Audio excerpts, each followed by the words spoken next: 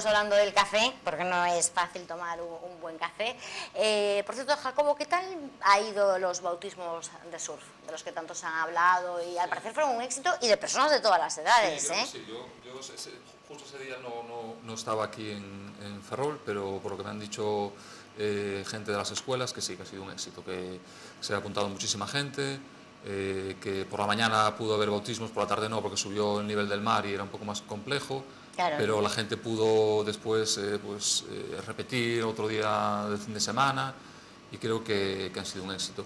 Es, es, es fácil, ¿no? Que, que, que sean, o sea, eh, la, la, idea hay que recibirla con, con satisfacción, pero es fácil que sea un éxito eh, los bautismos de surf en Ferrol, porque Ferrol sí, claro. reúne las mejores condiciones para la práctica del sí. sur de, de, España, no de Galicia ni de Coruña, sino de España, y esto hay que decirlo sí, muchas veces porque es cierto, y además existe un, un sector muy competitivo, muy formado, ¿no? hay, hay empresarios, hay, bueno, es, es gente joven, emprendedores, que han, han querido desarrollar su proyecto vital en Ferrol, están luchando por eso, van por delante de la administración, y son verdaderos expertos en lo suyo. A veces uno piensa en el sector del sur y piensa ya. en cuatro personas, que otros chavales que van en furgoneta y que solo piensan claro. en surfear, y no, son, son gente joven que conoce muy bien el mar, que conoce muy bien el deporte, que saben lo que están haciendo y que son decididos y han apostado por, un, por, un, bueno, por desarrollar un modelo vital en torno a, al surf.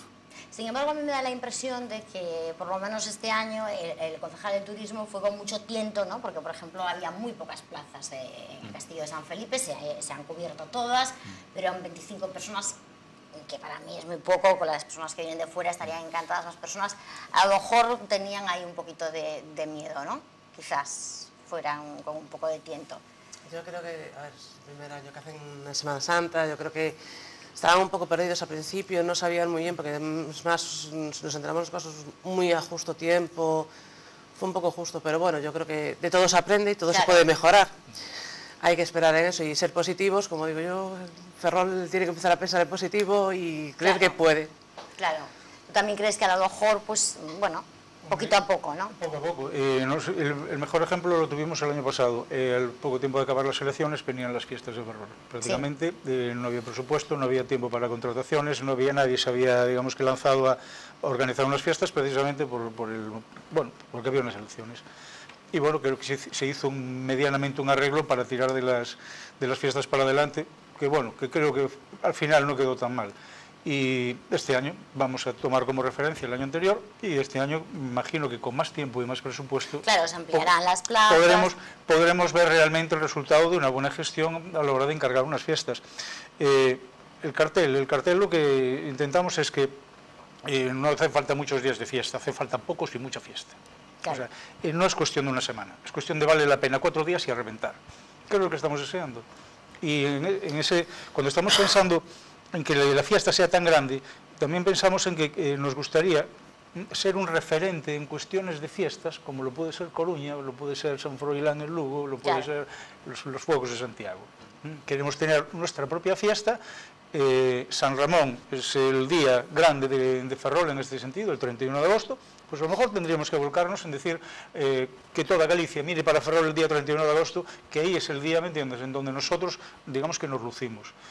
¿Qué pasa? De todo esto depende de eso, de experiencia, depende de presupuesto, depende, digamos que de, de, de, la, de la, colaboración que pueda haber entre todos. Eh, los hosteleros somos los primeros en ponernos al servicio del Concello, porque si hay alguien que entiende de fiestas, primero que somos los hosteleros. Claro. Entonces, nosotros los que estamos ahí, pues somos los que primeros interesados en que haya mucho ruido en la calle, eh, si el tiempo nos acompaña, eso ya sería tremendo, y que, bueno, que haya mucha fiesta, que Ferrol, Ferrol se la merece, lo está pasando mal y merece una alegría de vez en cuando.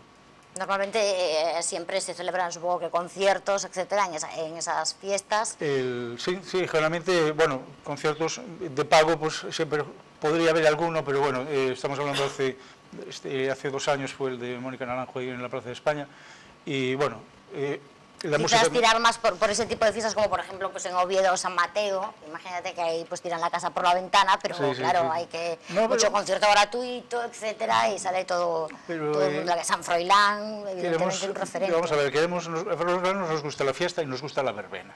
Pues nada, pues hacer verbenas, porque estamos Si a veces, a veces decimos, es que tal grupo eh, vino a la Plaza de España o estuvo, actuó Mm. en Amboaje o actuó en el Cantón y no trajo gente. Y lo primero que se oye a todo el mundo es, tú trae a la París de Noya.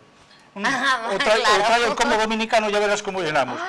Pues a lo mejor empezamos con, el- empezamos con, estos, con estas orquestas que sí que tienen un tirón, pero un tirón espectacular. Y, y además solo, solo hay que tomar nota de, de sitios como, como Mandía, como eh, las salas de fiestas, cómo, cómo se llenan con ellos. Estamos hablando de sitios eh, que, que los llevan a ellos y además da la sensación de que están en el periódico durante un mes, ¿entiendes? Porque no tienen otra cosa que hablar. Eh, que, que tenemos que traerlas, las traemos, las traemos, pero tenemos que ser, además tienen muchos seguidores. Y lo que tenemos que hacer es lo que le gusta a la gente, que es la fiesta, la fiesta. Siempre queda muy... Hombre, estamos hablando de Ferrol, eh, merece tener un espectáculo de otro nivel, ¿no? que ya no sea una orquesta, eh, digamos que un concierto como Dios manda, pero una cosa no es incompatible con la otra. Ahora lo que necesitamos es hacer ruido porque a la gente de Ferrol pues, nos va mucho la marcha. Además tiene espacios maravillosos tanto en el exterior como el Teatro Jofre, que es una maravilla, también para, Mm. para otro tipo de, de espectáculos que hay que fomentar. Hay que ayudar todos, pero también la Junta de Galicia tiene que aportar su granito de arena, ¿no? Hombre, Digo yo. el- pienso que todas las ayudas son pocas. Claro. El, el Concello a lo mejor pues, no tiene presupuesto suficiente para hacer unas grandes fiestas. Eh, la colaboración de los ciudadanos puede ser, pero nunca llegará eh, digamos que a unos niveles como para traer aquí unos, unos eventos inolvidables.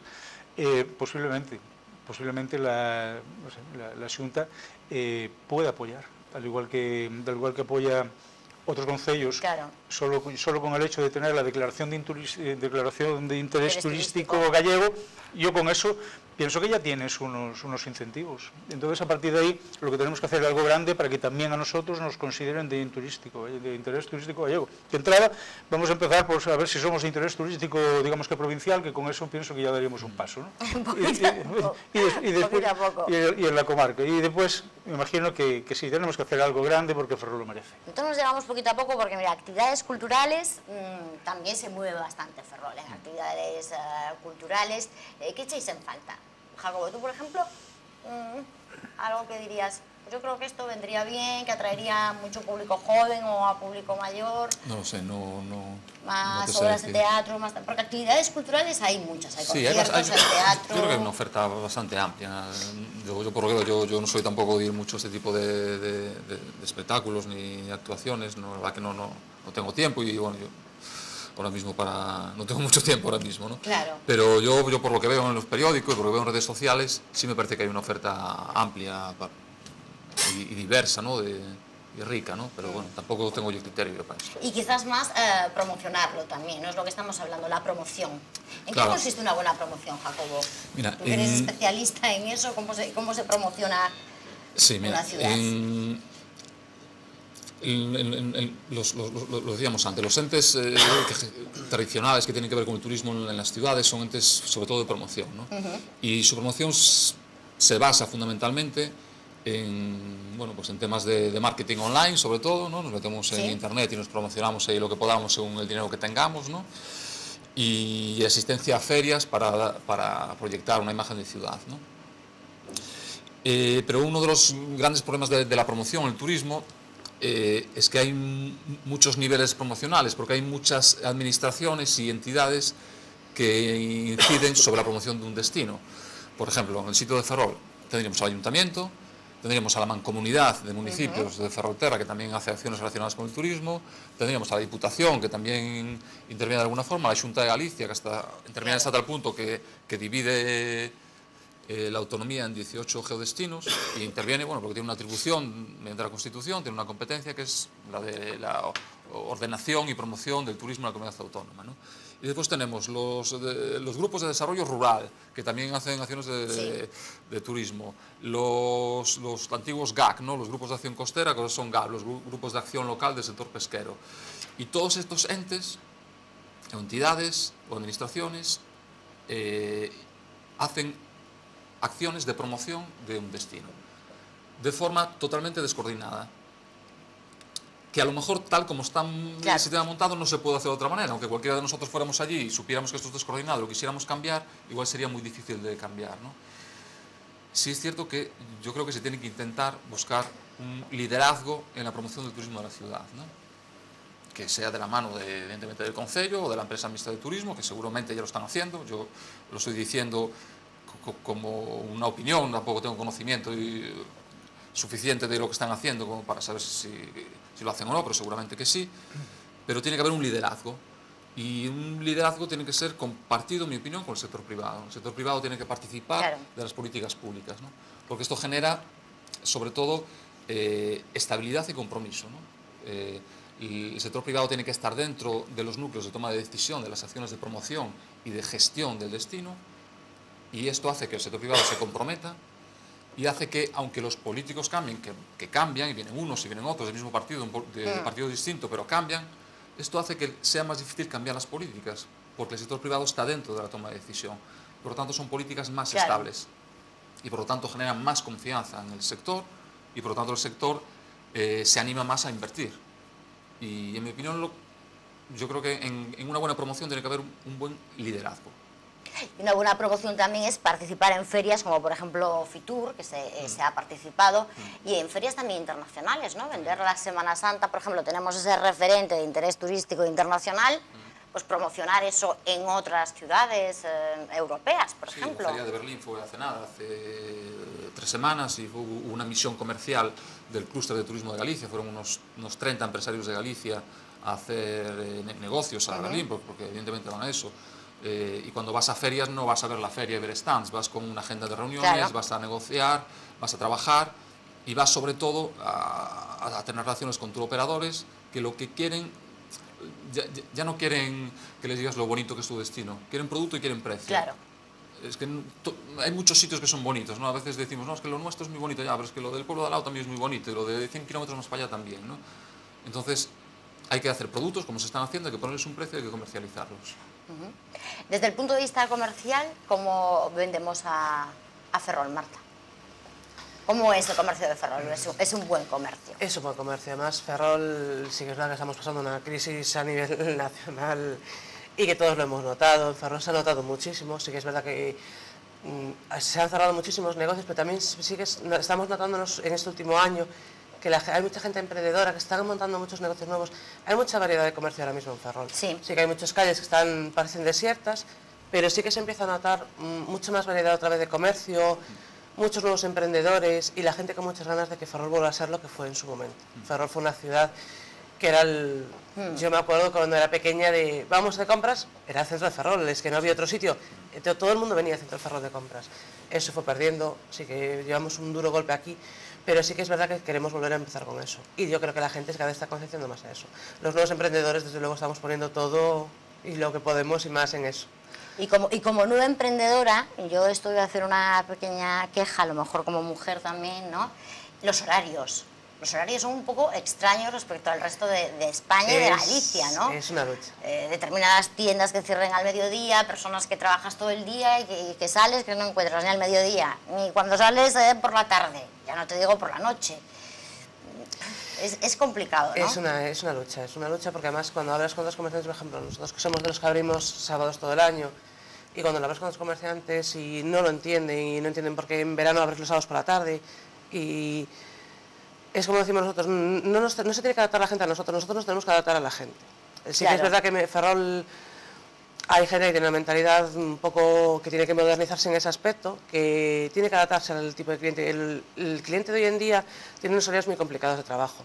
Si nosotros los comerciantes no nos adaptamos a ese tipo de horario, no vamos a salir adelante. Tenemos que ser los primeros en cambiar. ¿Que tenemos que ampliar horarios? Sí.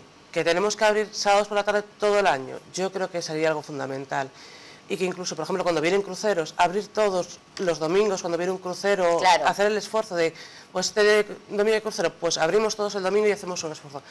Que haya tres o cuatro tiendas abiertas, pues yo soy de las que, por ejemplo, abro todo cuando hay cruceros, no vale de nada. No vale de nada, porque entonces la mitad de la gente del crucero se la lleva en un autobús a Coruña a Santiago, que es una cosa que nos quejamos muchísimo. Sí. Pero es que tenemos que hincar el codo.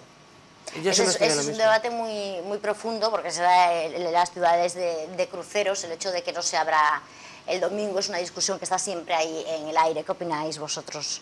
Hombre, nosotros, a nosotros nos ayudaría mucho que el comercio respondiera y que la hostelería no fallara y cada vez que viene un crucero. A veces lo primero que haces cuando viene un crucero miras los horarios echan pocas horas, la verdad. Sí, pero compran mucho, ¿eh? Y a veces tienen bastante El- poder de- adquisitivo, poco, pero Sí, poco, pero bueno, es, un nivel, digamos que Se sí. puede aprovechar. Si, pagaron el crucero, malo será que no tengan dinero para gastar en, en. Lo que notamos mucho es, es eso, lo, lo que hablaba, lo que hablaba Marta, Marta. de, de que eh, una vez que bajan ya tienen los autobuses en la puerta porque ya a la hora de contratar el, digamos que el crucero, ya contrataron también los las visitas a eh, Santiago, ¿no? ¿Qué, qué pasa? Que tenemos, tan pronto llegan aquí, lo primero que, que hacen es, eh, tenemos Lugo, con las murallas, Sí. eh, la Torre de Hércules en Coruña y la Catedral de Santiago, ciudades patrimonio de la humanidad.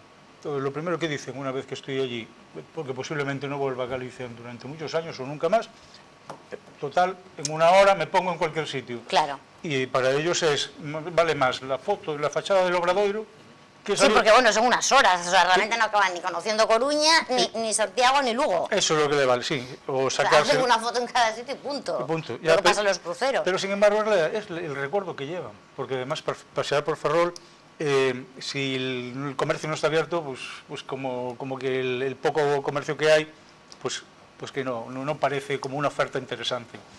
Eh, la hostelería, la hostelería tiene que estar abierta cuando venga. Claro.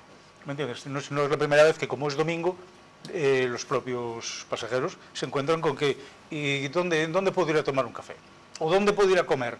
O no tienen ni a quién preguntarle, porque una oficina de turismo no, no está abierta. Entonces, teniendo en cuenta que, que nos faltan, digamos que, nos faltan ayudas para, para digamos que, organizar bien, eh, digamos que lo que es el plan turístico de, de Ferrol. Y, un- mira, uno de, uno de los, las cosas más interesantes sería que el, el que viene en barco, que a todo esto tiene una vista privilegiada de Ferrol, que es la, Sí. que es la entrada de la ría. Sí, yo sí, yo les recomendaría a todos los ferrolanos que entraran, que entraran en por mar. Eh, pienso que nos harían, si los, los tratamos bien, desde luego, eh, se van a llevar un buen recuerdo. Tanto los comerciantes como los hosteleros somos anfitriones, porque a veces llevas el recuerdo de la persona que te sirvió o de la persona que te atendió a la hora, porque no conoces otra cosa. Vas directamente a las compras.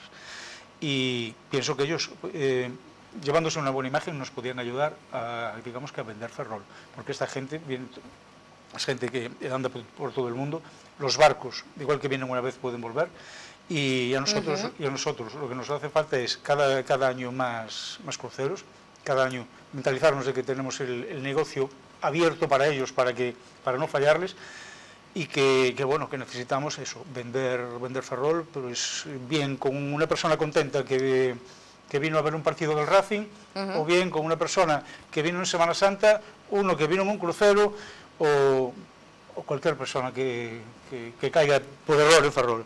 Eh, hay dos dos relaciones públicas de Ferrol que son maravillosas la Mili en su momento y la. Semana Santa hay gente que conoce Ferrol porque no le queda más remedio que venir a hacer la Mili Sí, es ¿Me entiendes? cierto. Y después a la Juela de Bandera tuvieron que venir personas de la familia y unos cuantos y echaron aquí el fin de semana, venían dos días. Entonces hay mucha gente que conoce Ferrol, unos por la Semana Santa y otros la Mili.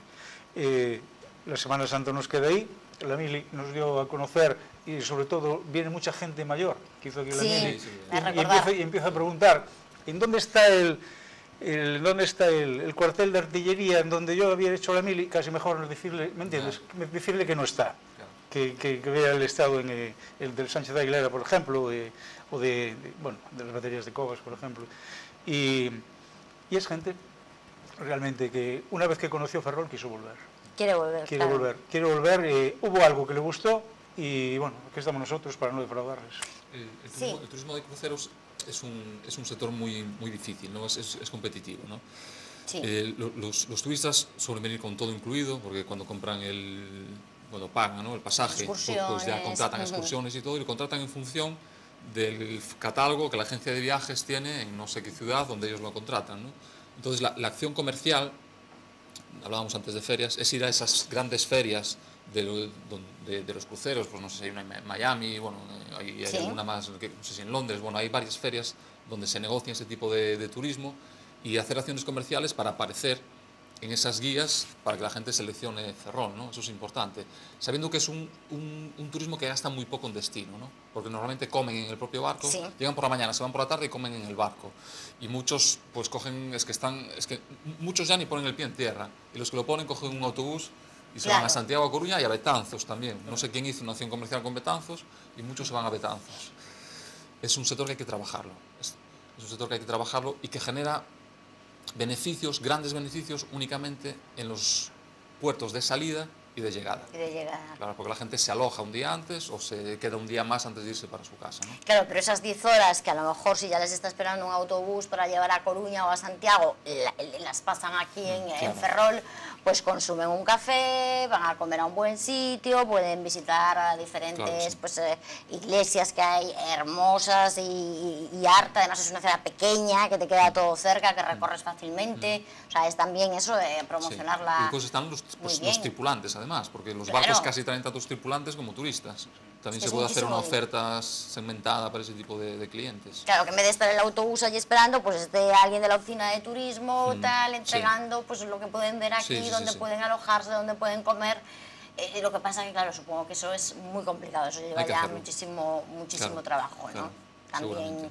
Y de cruceros, eh, Ferrol está mejorando un poquitín, ¿no? Sí, Últimamente. están subiendo las cifras en toda Están Galicia en general, ¿no? No sé si están, no me sé los datos, pero creo que, que anda en torno a los 50.000, ¿no? Eh, Sí. Un poquito menos, de 35.000 a 50.000, depende del año, son los, los, los, los cruceristas que llegan. Coruña está en 200 y pico mil y Vigo un poquito más, ahora andan, andan Sí. por ahí. Un poquito más. Esas son las cifras. No, no, no, sé, no, no he visto ningún estudio del impacto económico de, de un destino como Ferrol, de este tipo de Comprar, eh, compran, eso os lo puedo asegurar, ¿eh? Sí, y pues compran en un tiempo récord, o sea, en una hora pueden Pues, comprar. pues, pues eso, pues eso es muy bueno, Desde claro. Claro. lo que se les da, sí que es verdad que se les da un papel a los que se quedan aquí en tierra y pasean por la ciudad. ¿Ah, sí? Además los ves con las cámaras de fotos mm, Claro. sacando fotos a todos, que es una pasa. Y sí que se les da unos papeles con información, con un plano de las calles y con las tiendas que están abiertas. Intentamos facilitárselo para que sepan dónde pueden ir, a, además de que se dedica a cada tienda, para que ellos puedan saber dónde Ah, pueden ir a comprar bien. las necesidades que tengan. Entonces sí que lo- lo- desde la asociación sí, sí que se intenta hacer siempre. Y luego también considero que se debe potenciar el hecho de que Ferrol es una ciudad universitaria. Eso también otro, se se ha olvidado también, que es una ciudad que además cada día está adquiriendo más carreras, se están instalando más, poco a poco hay, hay más proyectos, hay mucha gente joven también que está estudiando aquí, hay carreras que solo se pueden estudiar aquí en Ferrol, y eso también hay que, que- que potenciarlo y que tener en cuenta a ese público joven, que es un público también muy, muy importante, ¿no? Estas Al actividades, estas actividades que se marcaron en Semana Santa dentro del proyecto de, bueno, del nombre Ferrolanízate, ¿no? Sí.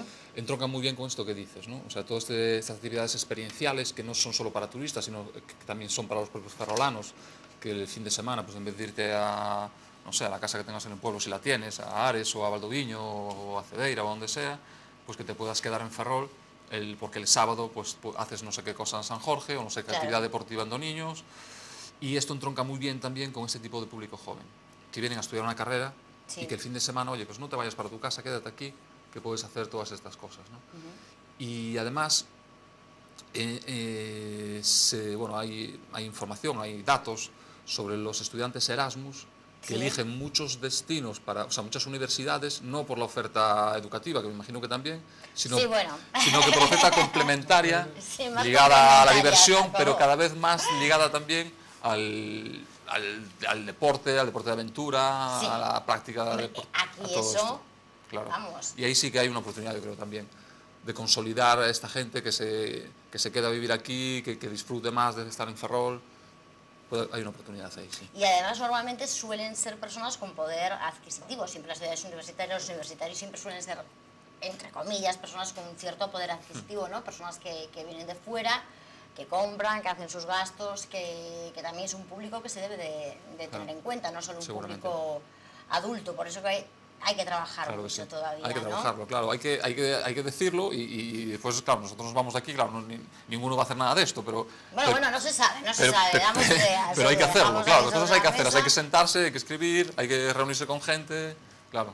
Y que nadie diga ¿eh? que, que, que, que está el Ferrol y que no, es que Ferrol, es que a mí Ferrol me encanta y es una Sí, ciudad hombre, claro. estupenda. Yo- sí, Lo que hay es que rehabilitar mucho y mm, no, no modernizarla, porque está preciosa como está, pero sí, rehabilitar, eso es, Sí, eso es eh, fundamental. sí.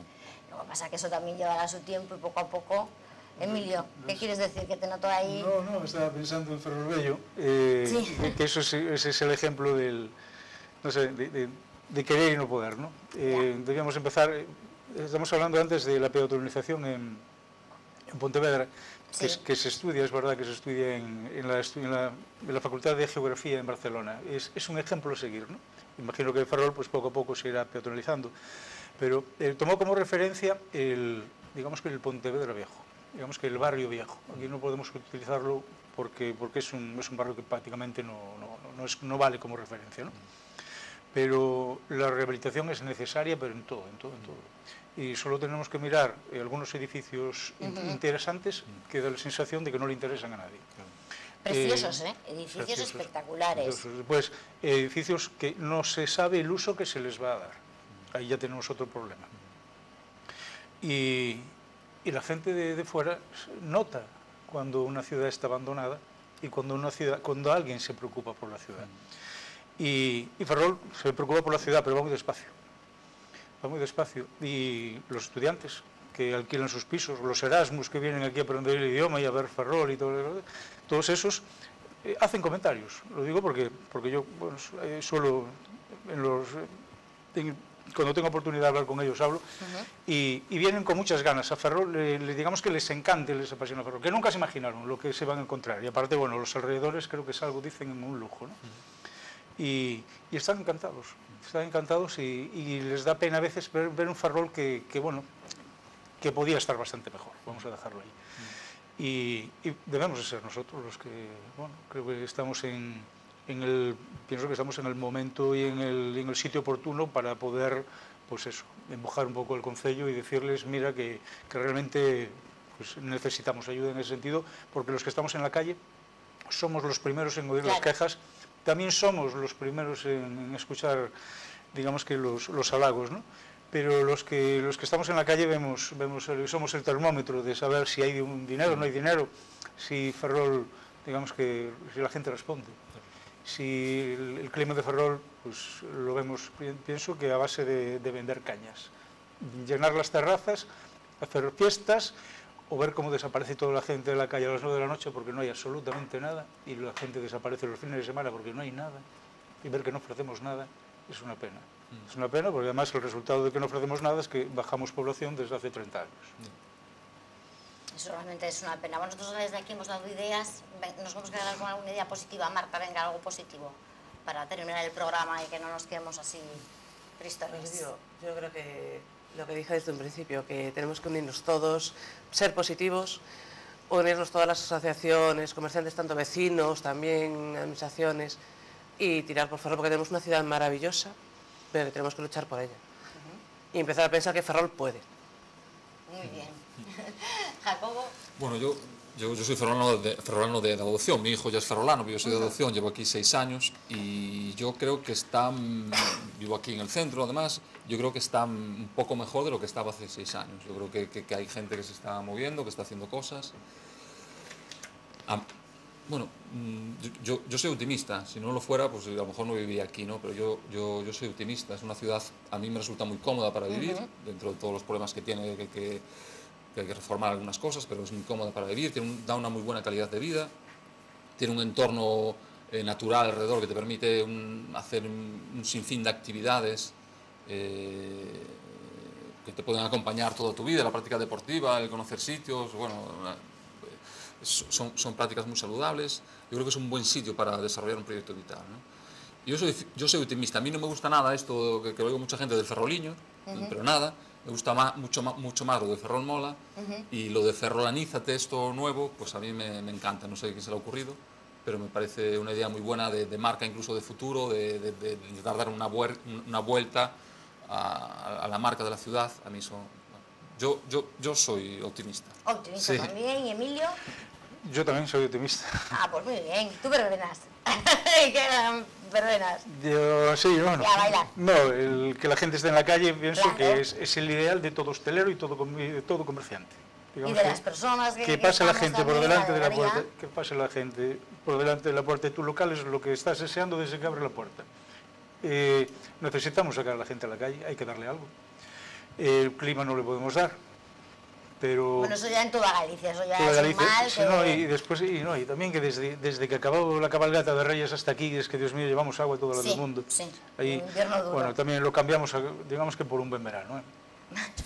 ojalá ojalá se pueda hacer ese, ca- ese, ese cambio pero bien Ferrol, Ferrol vale la pena y digamos que tiene, tiene mucho que ofrecer pienso que con el apoyo de todos pienso que pienso no, estoy seguro.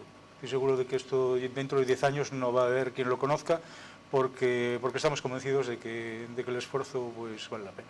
Bueno, pues de aquí hemos aportado ideas y ahora ¿eh? las instituciones ¿m? también a poner dinero, que aquí las cosas gratis no, no sale nada.